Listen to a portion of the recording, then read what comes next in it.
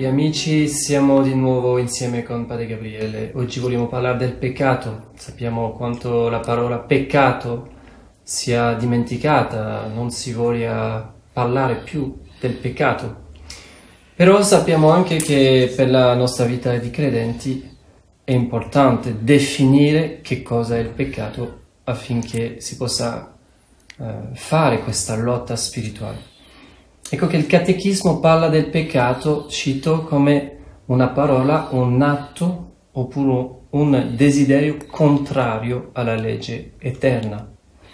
Quindi è un'offesa a Dio e anche una disobbedienza al suo amore. Una parola della Sacra Scrittura ci propone una definizione con la presenza di Satana che va a incidere sulle nostre parole, i nostri pensieri e dice la lettera, eh, la prima lettera di San Giovanni, eh, chi commette il peccato viene dal diavolo, perché il diavolo è peccatore fin dal principio. Ecco questa definizione. Prima eh, di tutto c'è Satana che ci tenta col peccato. Ora il figlio di Dio è apparso per distruggere le opere del diavolo.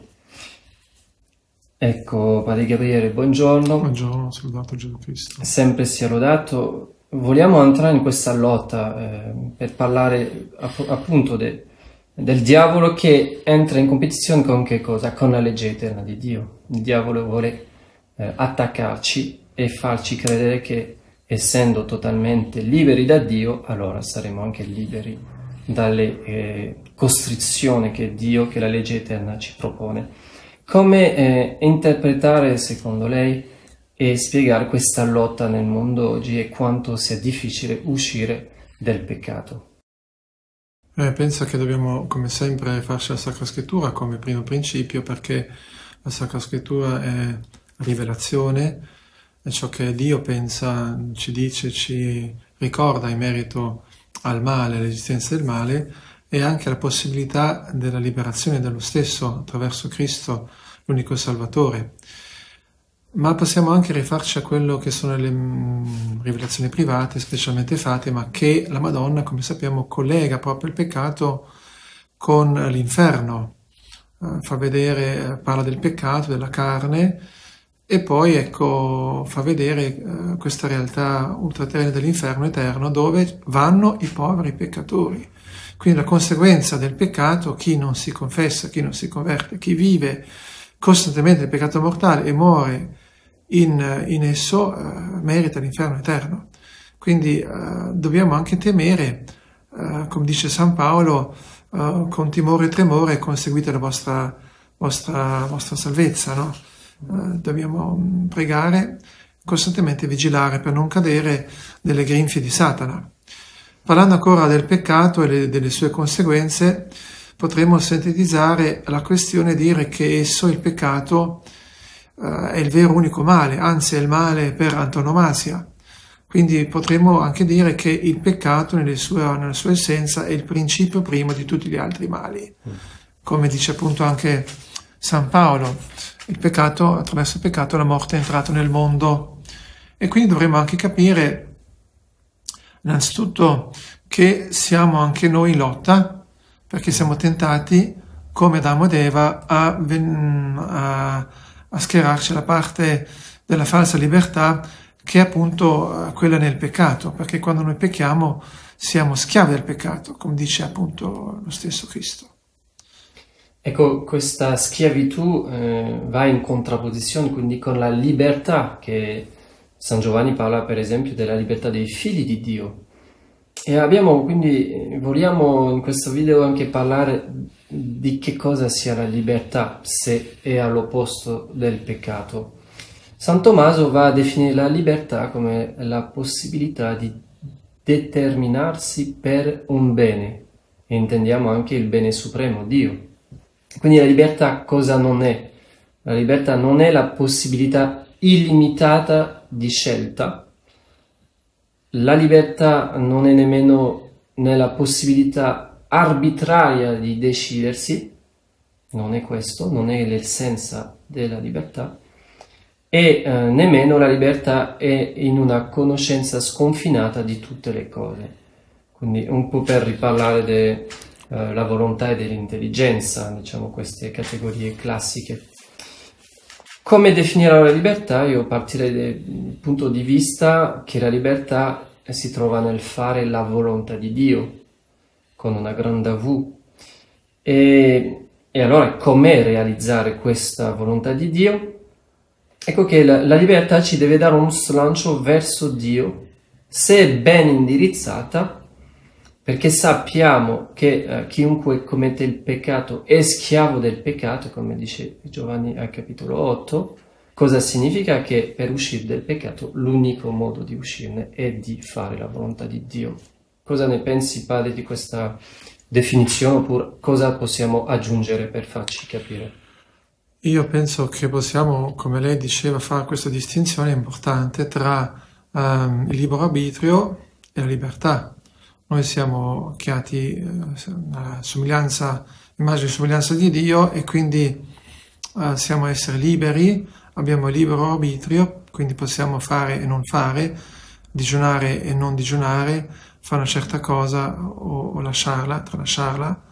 Quindi abbiamo questa dignità, l'anima è proprio eh, l'anima spirituale è proprio questa facoltà di intelletto, volontà e memoria, quindi c'è libera, il libero arbitrio.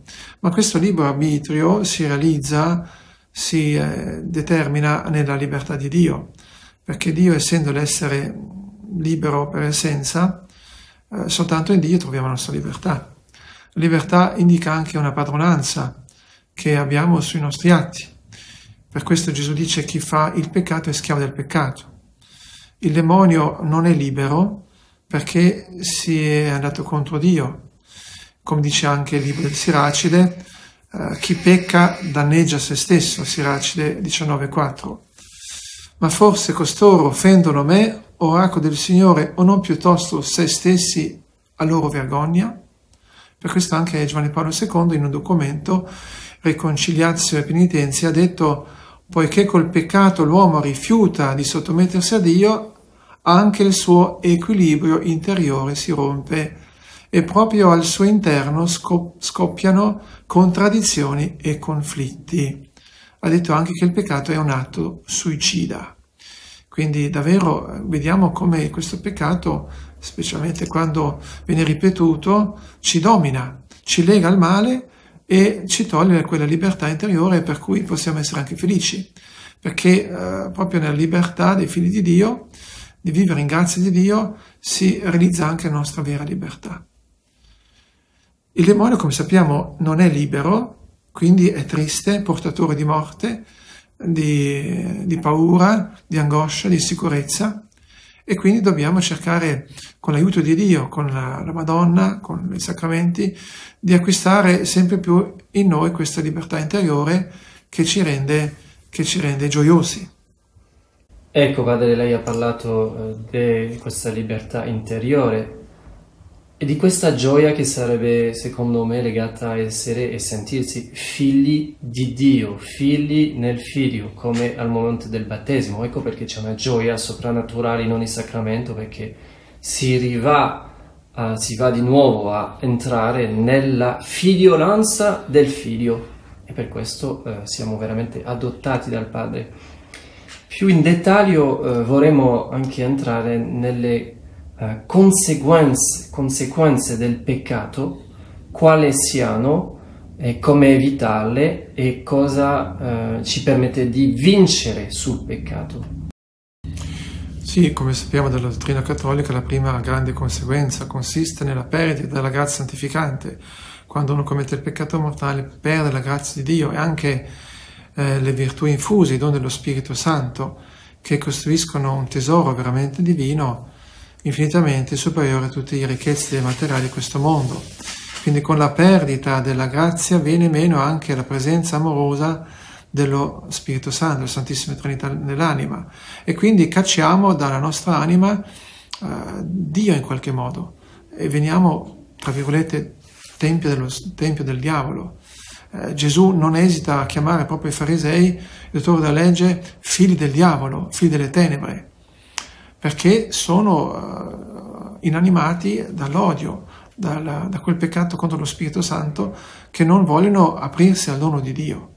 E quindi eh, quando noi pecchiamo mortalmente e viviamo costantemente nel peccato mortale, purtroppo abbiamo perso la nostra vera dignità, la nostra vera dignità e meritiamo anche l'inferno evidentemente. Con la grazia di Dio l'uomo diventa erede, erede di Gesù Cristo e con la grazia di Dio l'uomo diventa erede di, di Gesù Cristo e quindi eh, può meritare il paradiso. Per ten, per, perdendo la, la presenza di Gesù Cristo si perde anche questa preziosissima eredità, per cui come si dice, come dice il profeta, tutte le opere giuste da lui fatte saranno dimenticate a causa della prevaricazione in cui è caduto. Quindi tutte quelle opere di bene che ha compiuto a causa del peccato mortale saranno dimenticate. In più è incapace di meritare, perché noi meritiamo soltanto in quanto siamo inseriti in Cristo, l'unico che ci può meritare con la grazia santificante. Quindi dobbiamo anche tenere presente questa, questo aspetto negativo, davvero tremendo, del peccato mortale. Dicevano i santi, la morte piuttosto il peccato. Esatto.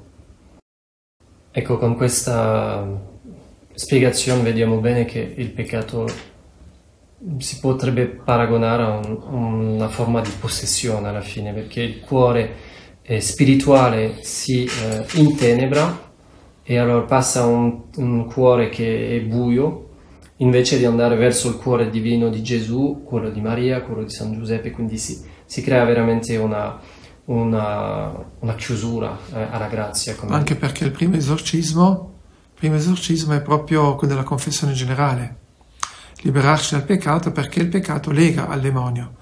E quindi quando noi eh, vogliamo ricevere le benedizioni e le preghiere e siamo nel peccato mortale, questi non ci giovano a nulla. Quindi prima bisogna confessarci. E poi, ma anche lo stesso sacerdote deve prima confessarsi, prima di fare questo, questo, queste preghiere di liberazione, perché deve essere anche lui libero da qualsiasi vincolo, anche quello minimo, di qualsiasi peccato veniale, per essere così forte in Cristo. Ecco, si vede bene quindi per concludere che la schiavitù del peccato è veramente orrenda, si potrebbe paragonare, io dico sempre, a un tipo di um, petrolio che abbiamo attorno all'anima, che ci impedisce, ci incolla, ci impedisce di, di alzarsi verso l'alto, di, di, di fare scelte buone, di usare bene il libero arbitrio, di usare bene l'intelligenza, la nostra coscienza che ci fa determinare quale sia il bene e quale sia il male. Ecco che la nostra società vive in, questo, in questi legami tremendi e ovviamente sono sempre le, gli atti di penitenza, cioè di cambiamento del punto nostro di vista, di vedere, che fanno la differenza sulla mentalità come la, la spiega San Paolo, la mentalità mondana, il corpo di sofferenza, eh, la morbosità dei nostri atti. Quindi grazie Padre Gabriele per tutte queste spiegazioni molto chiare molto precise che eh, ci piace avere questo modo eh, chiaro di vedere eh, e di interpretare la Sacra Scrittura. Voglio ancora citare l'ultimo passo che viene da Matteo, capitolo 13, 41-42, dove appunto il Signore collega proprio il peccato all'inferno. Eh, quando dice operatore di iniquità, via da me, il figlio dell'uomo manderà i suoi angeli, eh, i quali raccoglieranno tutti i scandali e li getteranno nella fornace ardente dove sarà pianto e storo di denti. Quindi gli scandali, operatori di iniquità, sono appunto quelli che vivono nel peccato e sono figli del diavolo e vengono gettati nella fornace ardente, come dice Gesù. Quindi ecco, non dobbiamo eh, sottovalutare questo pericolo eh, che sovrasta, che sovrasta la società. Eh, dobbiamo evitare i luoghi di scandalo vogliamo anche evitare tutte le compagnie che ci portano a avere una mente offuscata, perché chi commette il peccato e piano piano ecco, viene meno anche quella luce della grazia di Dio, perché il peccato comunque è anche un offuscamento, mm, ci, ci toglie la luce. Grazie di averci seguiti, eh, vi, vi, rimandiamo un altro appuntamento prossimamente, eravamo noi al Benga qui, Padre Gabriele Maria, Fra Giuseppe Pio Maria, per eh, quarta, eh, quarto intervento sul peccato. Vi auguriamo una buona giornata nel nome di Gesù, Giuseppe e Maria. Sia lodato Gesù Cristo. Sempre sia lodato. Diamo la benedizione, come sempre, la chiave trinitaria, il Signore Onnipotente vi benedica, vi custodisca nel nome del Padre, del Figlio e dello Spirito Santo. Amen. Sia lodato Gesù Cristo. Sempre sia lodato.